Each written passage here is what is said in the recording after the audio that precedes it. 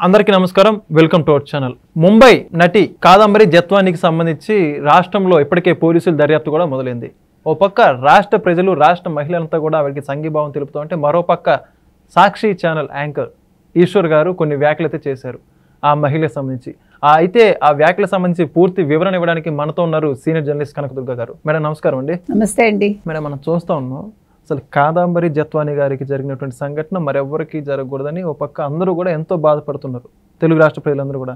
అయితే ఇటువంటి తరుణంలో సాక్షి ఛానల్లో యాంకర్గా పనిచేస్తున్నటువంటి ఈశ్వర్ గారు కొన్ని వ్యాఖ్యలు చేశారు. ఆ మహిళే వల వేసుకునే ఆ యొక్క విద్యాసాగర్ గారిని పట్టుకుంది అనే విధంగా అసలు జుగుప్సాకరంగా చాలా మాట్లాడారు ఆవిడ ఫోటోలు చూపిస్తా ఒక పక్క ఛానల్లో ఎంత అసభ్యంగా మాట్లాడారంటే అసభ్యంగా మాట్లాడారు. అసలు ఇది ఎంతవరకు కరెక్ట్? అసలు మీరైతే దీని గురించి ఏం చెబుతారు? ముందు ఈశ్వర్ మీద కేసు పెట్టాలండి. తర్వాత ప్యానెల్ సభ్యులు ఎవరైతే ఉన్నారో ప్రసాద్ ఇంకెవరెవరు ఉన్నారు కదా వాళ్ళందరి మీద కూడా కేసులు పెట్టాలి. ఎందుకంటే ఒక ఆడపిల్లని ఫోటో చూపించి చెప్పే హక్కు మీకు ఎవరి అంటే నెగిటివ్గా ఇప్పుడు ఆ అమ్మాయికి ఏదో ప్రాబ్లం వచ్చింది ఒక సమస్య వచ్చింది. సమస్య మీద చర్చించండి తప్పులేదు కానీ ఆ సమస్య వెనకాల ఏదో మీరేదో చూసినట్టు మీరు పక్కనే ఉన్నట్టు లేదు ఆ అమ్మాయి చేత మీరే చేయించినట్టు వలపు వల హనీ ట్రాప్ మీకు తెలుసా హనీ ట్రాప్ అని? అసలు అమ్మాయి ఎక్కడ చేసింది అది? ఇప్పుడు ఈ విద్యాసాగర్ ఎవడు? వీడు వెళ్ళాడు ముంబైకి?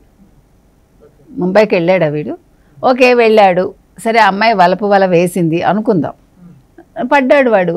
అది వాడి ప్రాబ్లం అది. మీరెందుకు మాట్లాడుతున్నారు? నిజంగా వలపు వల వేసి ఉంటే ఆ పిల్ల నిన్న బయటకు వచ్చి ఇంత మాట్లాడక్కర్లేదుగా? ఇప్పుడు వలపు వల వేసిన అమ్మాయి వచ్చి ఛానల్స్లో మాట్లాడుతుందా? నేను నష్టపోయాను. ఎవరి వల్ల? ఎక్స్ వల్ల నేను నష్టపోయాను. ఈ కుక్కల విద్యాసాగర్ ఇచ్చిన కంప్లైంట్తో నన్ను తీసుకొచ్చారు అని అంది కదా. ఇప్పుడు అసలు ఆ ఫేక్ అది. ఆ కుక్కల విద్యాసాగర్ ఇచ్చిన కంప్లైంట్ ఏదైతే ఉందో అది జగన్మోహన్ రెడ్డి ఇప్పించాడు అది ఏదో వేరే రీజన్స్ తోటి అతను పర్సనల్ రీజన్స్ తోటి ఇప్పించుకున్నాడు ఇప్పించుకున్నాక వీళ్ళు ఆఘమేఘాల మీద వెళ్ళిపోయి విమానాల్లో ఆ పిల్లని కిడ్నాప్ చేసి తీసుకొచ్చేసి మూడు రోజులు ఆ పిల్లని బంధించి నలభై ఐదు రోజులు ఆ పిల్లని జైల్లో పెట్టి పద్దెనిమిది రోజులు అదేదో గెస్ట్ హౌస్లో పెట్టి ఆ పిల్లని టార్చర్ పెట్టి మరి ఇవి మాట్లాడు ఈశ్వర్. నువ్వేదో అక్కడ పరకాయ ప్రవేశం చేసేసి ఇలా కోపంగా మాట్లాడేసి అసలు ఏదో ఇతనే చూస్తున్నట్టు అక్కడ మొత్తం స్టోరీ అంతా అట్లా చూస్తూ చెప్పినట్టు మాట్లాడతాడు. మీరే చూసారా ఈశ్వర్ ఎలా మాట్లాడతాడు?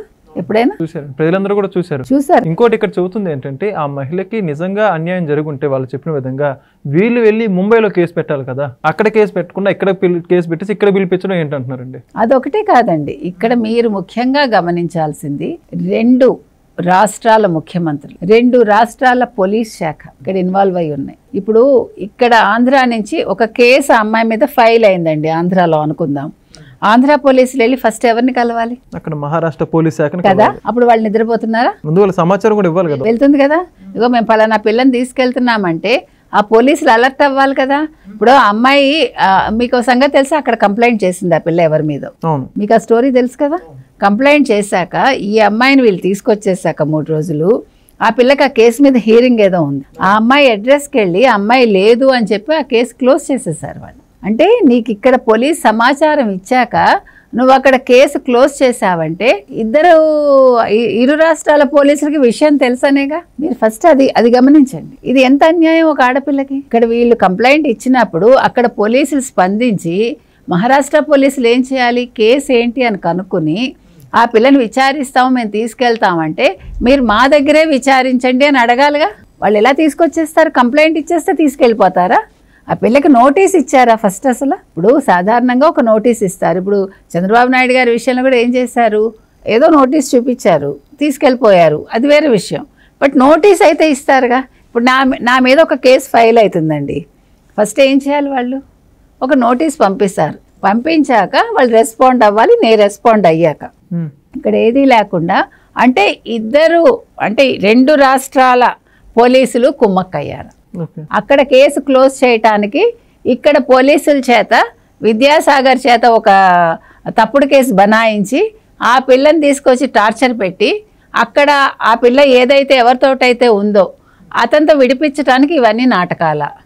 అసలు ఈ విద్యాసాగర్ ఇన్వాల్వ్మెంట్ ఏంటి ఫస్ట్ ఈ కుక్కల విద్యాసాగర్ ఎందుకు ఇచ్చాడు? జగన్మోహన్ రెడ్డి చెప్తే ఇచ్చాడా? జగన్మోహన్ రెడ్డి అక్కడ ముఖ్యమంత్రో లేకపోతే ఆ కన్సర్న్ పర్సను ఇద్దరు మాట్లాడుకున్నారా? ఇప్పుడు చాలా విషయాలు బయటకు రావాలి. ఇప్పుడు సాక్షిలో ఇవన్నీ మాట్లాడకుండా ఈశ్వర్ అన్న వ్యక్తి ప్యానలిస్టుల చేత మాట్లాడించి వీళ్ళేదో చూసినట్టు హనీ ట్రాప్ ఇది హనీ ట్రాప్ అని నీకు తెలుసా? ఒక ఆడపిల్లని అంత క్రూరంగా తీసుకొచ్చినప్పుడు మరి మీరందరూ నోర్లు ఎందుకు మూసుకున్నారు? సరే ఆ పిల్ల హనీ ట్రాప్ చేస్తే మీరు తీసుకొచ్చి ఇక్కడ చిత్రహింసలు పెడతారా ఆ పిల్లని? నూడుగా మీరందరూ ఫోటోలు వీడియోలు చూపిస్తారా మీరు? మీ వాళ్ళు? వాడు వాడెవడు? ఆ కుక్కల విద్యాసాగర్ అన్నవాడు చేసిన పని ఏంటి వాడు? నలభై ఐదు రోజులు లేకపోతే పద్దెనిమిది రోజులు? మరి అతని ఫోటోలు కూడా చూపించాలి కదా అని చెప్పేసి నెటిజన్లు అంటున్నారు మరి. ఏదైతే ఆ మహిళ ఫోటోలు చూపించారో వీళ్ళ ఛానల్లో అతని ఫోటోలు కూడా చూపి అసలు ఎప్పుడు కూడా మీకు ఒకటి ఉంది కదా? సాధారణంగా అమ్మాయిల ఫోటోలు చూపించకూడదు. అన్లెస్ ఆ అమ్మాయికి ఇష్టమైతే తప్ప. ఓకే. ఇప్పుడు ఇద్దరు ఛానల్స్లో అమ్మాయి వచ్చిందండి. రెండు ఛానల్స్లో అమ్మాయి నిన్న మొన్న వచ్చారు ఆవిడ. ఇప్పుడు విజయవాడ తీసుకొచ్చారు ఆవిడని. హైదరాబాద్ తీసుకొచ్చి ఆంధ్ర పోలీసులు ఇప్పుడు విజయవాడ తీసుకెళ్ళి విచారిస్తున్నారు. ఆ పిల్లతో ఆ పిల్ల ఇష్టం లేకుండా ఛానల్స్ వాళ్ళు మాట్లాడలేదు.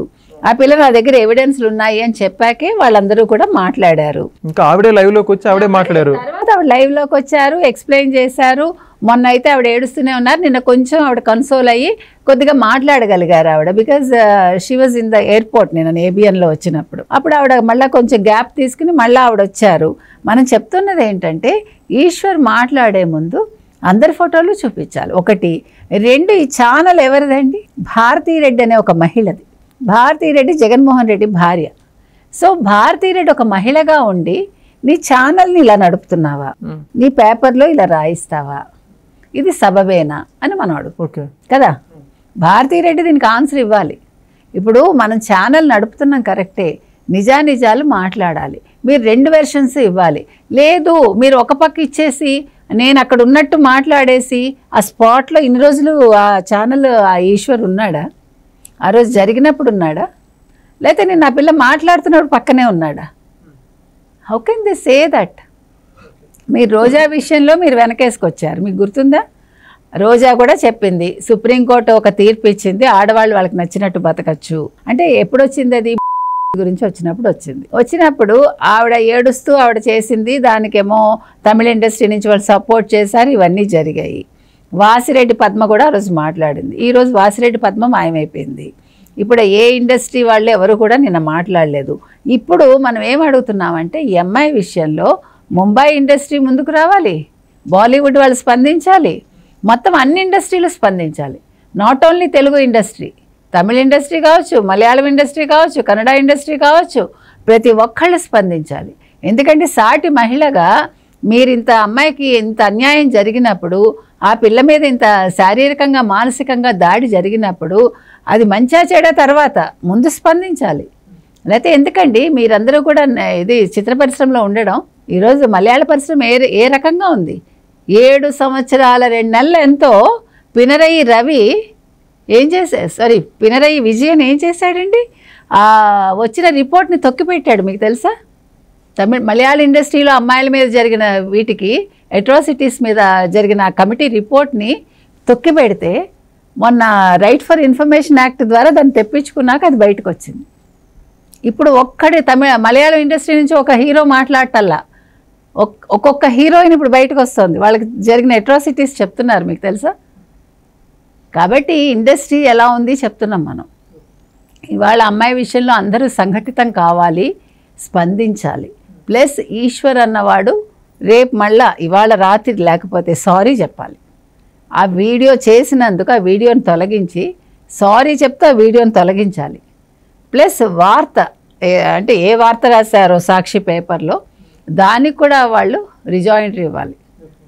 ఇది మనం అడుగుతున్నాం. ఇదే ఈశ్వర్ మేడం గతంలో వైఎస్ఆర్సీపీకి చెందినటువంటి ఎవరైతే విజయసాయి రెడ్డి గారి గురించి వార్తలు వచ్చినప్పుడు శాంతి గారి మహిళ గురించి కావచ్చు నిన్నటికి నిన్న ఏదైతే ఎమ్మెల్సీ అనంతబాబు విషయం వచ్చినప్పుడు కావచ్చు దువ్వాడ శ్రీనివాసరావు గారి విషయం వచ్చినప్పుడు కావచ్చు వీటన్నిటప్పుడు ఎప్పుడు కూడా డిబేట్ పెట్టలేదు మీరు గమనించుకుంటే.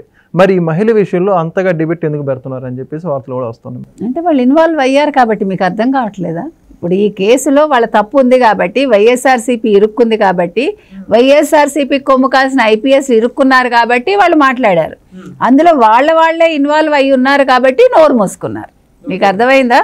అది సంగతి. అండి ఖచ్చితంగా దీనికి సంబంధించి కూటమి ప్రభుత్వం కూడా ఖచ్చితంగా ఈశ్వర్ గారి మీద కూడా చర్యలు తీసుకోవాలి ఖచ్చితంగా సాధ్యమైనంత త్వరగా. అదేవిధంగా మహిళకు కూడా వీలైన త్వరగా న్యాయం చేయాలని కోరుకుందాం. ధన్యవాదాలు. ధన్యవాదాలు.